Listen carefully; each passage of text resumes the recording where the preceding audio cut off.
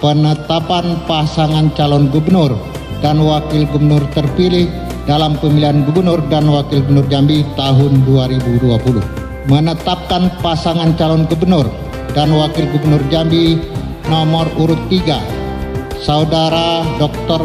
Haji Al-Haris Esos MH dan Saudara Dr. Handus Haji Abdullah Sani MPDI dengan perolehan suara sebanyak 600.733 dari total suara sah sebanyak 1.570.285 sebagai pasangan calon dan sebagai pasangan calon gubernur dan wakil gubernur terpilih dalam pemilihan gubernur dan wakil gubernur Jambi tahun 2020. Kedua, keputusan ini mulai berlaku pada tanggal ditetapkan ditetapkan di Jambi pada tanggal 12 Juni 2021. Ketua Komisi Pemilihan Umum Provinsi Jambi HM Subhan.